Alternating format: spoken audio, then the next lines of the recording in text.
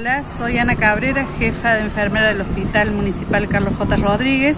Eh, hemos estado testeando en distintas escuelas, fueron siete días, en estos siete días hemos testeado a más de 900 eh, docentes y no docentes, incluidos algunos alumnos.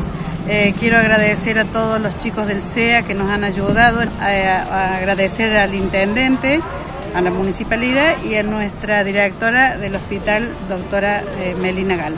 Gracias a todos y por la disposición que han tenido para con nosotros en los testeos.